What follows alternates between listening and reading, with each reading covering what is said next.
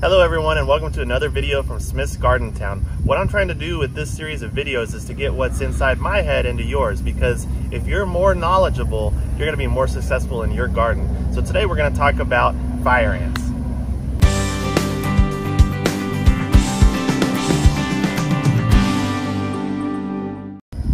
Now every year, this is a huge topic here in Texas and that is the red invasive fire ant. So they are from originally South America, and then over the years they've made their way here to the United States and into Texas. And the fire ant is not a good thing to have around. Not only are they extremely annoying and painful pests, but they also disrupt our native ecosystems here. They outcompete our native ants, and then for that reason we have a, a declination of horny toads and other native species here because of the invasive fire ant. So every year we have a lot of people asking of us how to get rid of fire ants. But first of all, I want to talk to you about how to identify fire ants. That way you can target them and you're not going to be targeting our native ant species. So fire ants, a lot of times after a rain event, you will see these mounds of dirt because what happens is during the rain event, the dirt washes down and it fills up their tunnels. So that as soon as the rain stops, the workers get to work and they start pulling all that mud and dirt out of the tunnels. That way they can have access down to their chambers again and this, this dirt will pile up on the ground right here. And then you'll, you'll really know if you go and disturb this mound and you'll see them just pour out of there to defend them. And then you'll really, really know they're fire ants if they start to sting you because they are painful and a lot of times they will leave whelps or swelling on you. So when these things first came to Texas, the Texas A&M uh, Extension Office, they started to come up with the Texas two-step. And that is still the best effective, most effective method of killing fire ants.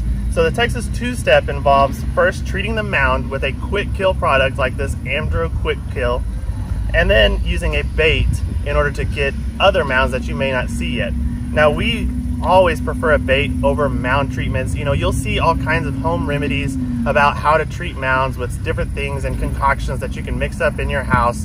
But the problem with only treating mounds is there are always other colonies that are forming that you can't see forming right now. So when you go and just treat a mound, you'll think that you're just moving them from place to place because you'll see them pop up in other places.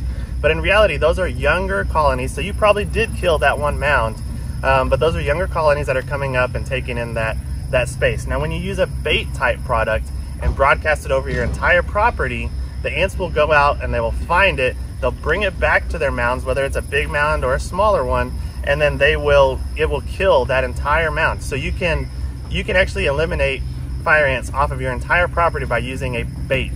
Now, the only reason you would want to also use a quick kill would be, you know, if you have a mound that's in a in a really problem spot, you know, close to a kid's playground or close to somewhere where you're going to be having an event or you're having a party, that would be a time to use the quick kill. The quick kill is going to really take care of that mound and uh, in a hurry. And then you can follow up with the bait, which takes five to seven days for that bait to really um, to have a, a good effect and, and, kill out all of the colonies on there.